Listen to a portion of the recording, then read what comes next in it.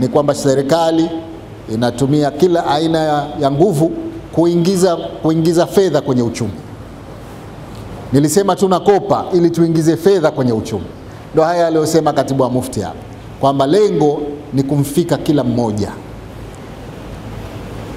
lengo ni kumfika kila mmoja, na insha Allah ni mategemeo yangu wale tutakaowakabidhi jukumu hili watakuwa wakweli na waaminifu, ili fedha zile ziwafike wahusika.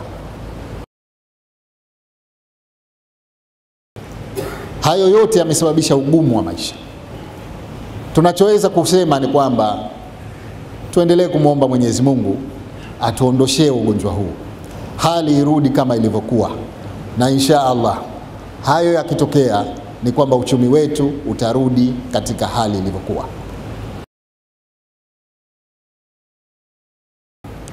Kwamba amani, umoja wa wananchi na mshikamano ni neema kubwa kuliko neema nyingi ambazo tunazijua, kwa sababu bila ya amani yale mengine yote tunayoyataka hayawezi kutekelezeka. Kwa hivyo tumshukuru Mwenyezi Mungu kwa neema hii.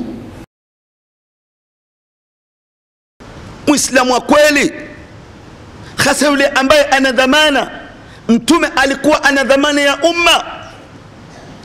Yale mambo yanayopatisha umma tabu yalikuwa yanamsolonesha ambapo na dhana zetu njema kwa viongozi wetu, kwa sababu tunawasikia na harakati zao kwamba yanawauma yale yanayowapa tabu waumini.